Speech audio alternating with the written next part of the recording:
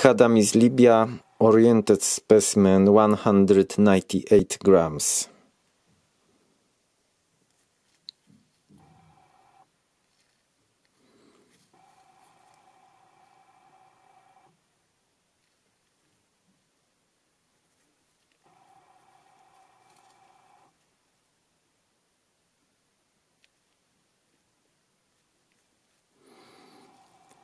This piece broken on the shock line, but still it's here uh, have a little orientation, little uh, rollover lipping.